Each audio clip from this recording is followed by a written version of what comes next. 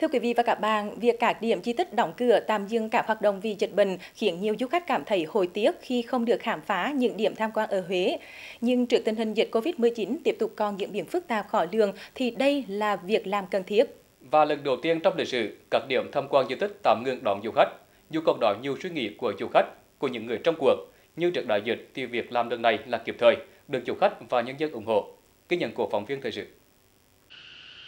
Theo công văn số 2012 UBND-GD của Ủy ban dân tỉnh, tạm thời không đón khách vào tham quan tại các di tích, bảo tàng, danh lam thắng cảnh trên địa bàn kể từ 17 giờ ngày 14 tháng 3 năm 2020 nhằm đảm bảo tốt cho công tác phòng chống dịch bệnh COVID-19 trên địa bàn tỉnh.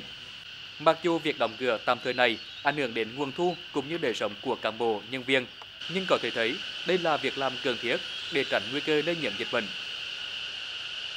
Mặc dù giai đoạn này hết sức là khó khăn khi đóng cửa, à, nhưng mà để cái việc phòng chống dịch à, và ủng hộ chủ trương của toàn quốc của chúng tôi chấp hành ngay.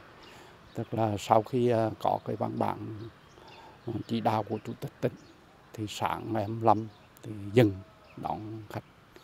Mặc dù trước đó cũng có một số đơn vị họ mua vé đi tuyến, tức là đi ngày sau. Nhưng mà ngày hôm sau là chúng tôi cũng làm cái thủ tục hoàn trả lại cái số tiền họ đã mua vé.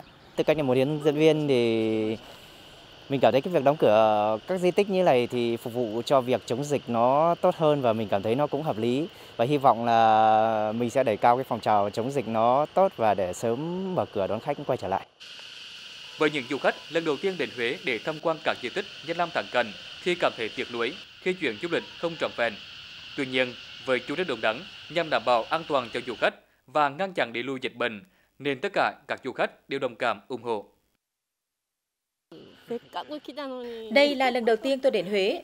Tôi muốn tham quan các điểm di tích để biết thêm về đất nước các bạn. Tuy nhiên tôi rất nổi tiếc khi không được tham quan vì dịch bệnh đang xảy ra. Nếu có dịp tôi sẽ quay trở lại Huế. Lần đầu tiên tôi được bước chân đến Huế. Nhưng mà có cái là nó buồn là vì chưa được vào trong hoàn thành.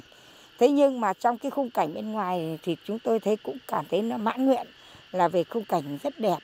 Cái chủ trương này là đúng để nó đỡ tràn lan bệnh dịch, nó là đúng.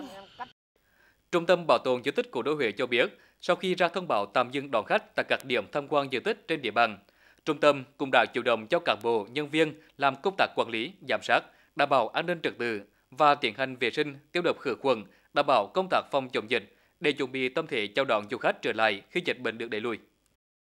Cái diễn biến của dịch nó lắng xuống thì bắt đầu chúng tôi xin chủ trương của tỉnh để sẽ mở cửa trở lại và trong cái cái sóng hành này thì đã nghiên cứu các cái chương trình kết cầu à, và nâng cao cái chất lượng hoạt động dịch vụ tại tất cả các cái điểm di tích à, rồi à, tổ chức tái liền hiện lại một số hoạt động À, đồng thời cũng à, là xúc tiến quảng bá à, du lịch rồi thông qua các cái gói chính sách miễn giảm.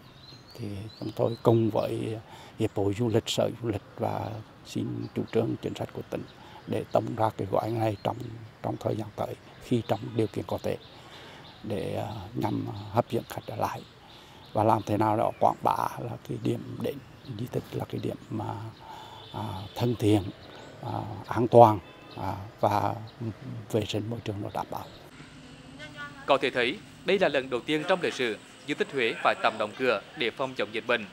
Tuy nhiên, trước những diễn biến phức tạp của dịch Covid-19, thì việc làm này đúng chủ trương và được mọi tầng lớp nhân dân, du khách ủng hộ. Hy vọng rằng dịch bệnh sẽ sớm được đẩy lùi, người dân và du khách sẽ trở lại với di tích Huế để khám phá vẻ đẹp và giá trị lịch sử văn hóa của Huế.